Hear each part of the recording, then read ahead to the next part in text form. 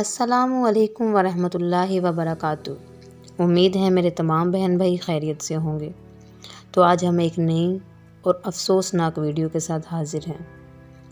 मरूफ भारतीय यूट्यूबर तेज़ रफ्तार बाइक पर सफ़र करते हुए हादसे का शिकार अपनी जान गंवा बैठा। भारतीय मीडिया रिपोर्ट्स के मुताबिक यूट्यूबर तेज़ रफ्तार गाड़ियों और बाइक्स का सफ़र करते हुए वीडियोज़ रिकॉर्ड करता था। यूट्यूब पर 1.2 बिलियन सब्सक्राइबर के हामिल भारतीय यूट्यूबर अगस्त्य चौहान के साथ जानलेवा हादसा उस वक्त पेश आया, जब वो आगरा से दिल्ली, बजरिया, यमुना एक्सप्रेस वे सफ़र कर रहा था। हादसा तेज़ रफ्तारी के बायस पेश आया। यूट्यूब पर सुपर बाइक पर 300 किलोमीटर फ़ी घंटा की रफ्तार सफ़र करने की कोशिश कर रहा था और अपने यूट्यूब चैनल के लिए वीडियो रिकॉर्डिंग में भी मसरूफ़ था कि हादसा पेश आ गया। रिपोर्ट्स के मुताबिक भारतीय यूट्यूबर ने तेज़ रफ्तार बाइक पर से कंट्रोल खो दिया था। हादसे के नतीजे में यूट्यूबर का हेलमेट भी टुकड़े टुकड़े हो गया।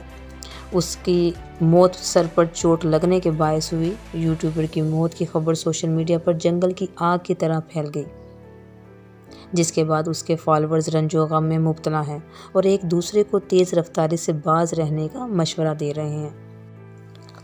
इस वीडियो से और इस ख़बर से हमें ये नसीहत हासिल होती है कि हम आर्जी तफरी के लिए, आर्जी खुशी के लिए हम लोग अपनी सारी ज़िंदगी, अपने तो हम लोग ज़िंदगी गवा बैठते हैं और सारे ज़िंदगी का गम रोग अपने माँ बाप बहन भाई अपने रिश्तेदार, अपने ख़ानदान को दे जाते हैं।